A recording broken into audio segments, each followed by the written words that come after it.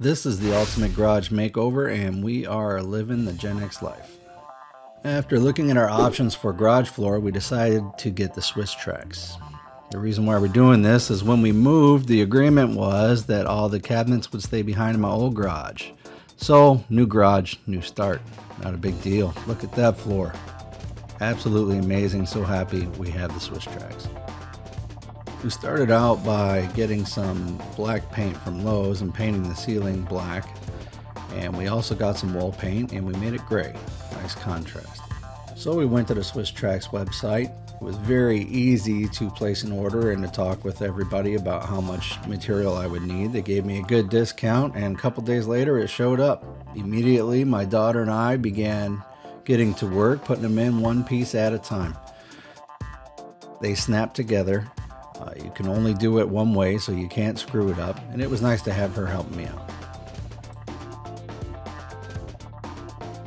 The first thing we did was go around the perimeter with the black, and then we filled the middle in with the light gray. Those are the two color combos that I ordered. When you got to the edge, there was a little bit of cutting that had to be done, but I just used my miter saw and it was very easy. It looks good, nice and flush with the wall, but make sure you order a few extra pieces as my cuts didn't turn out. I messed up a few pieces. It was no big deal. I just went back on their website and placed the order for an additional four pieces, I think it was, that I messed up, and it came right to the house. Bam! That beats epoxy any day of the week.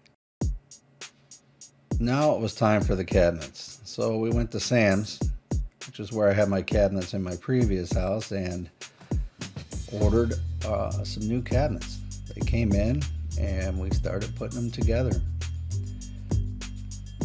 Very easy to put together, but very time consuming. But I absolutely love these cabinets. I would not ever want to live without them again. They make storing everything in your garage so easy and so nice to hide everything. We also got the workbench there. Now it was time for the hexagon light. I absolutely love this light. It is incredibly bright. Allows you to see everything when you're detailing your car. Just went to Amazon and picked it up. And then we finished it off with the Govee lights.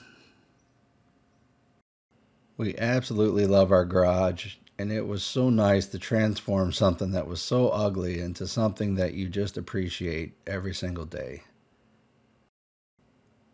Please subscribe for more videos. Feel free to leave any comments, give us a thumbs up, let me know what you think. I would really appreciate it. Thank you.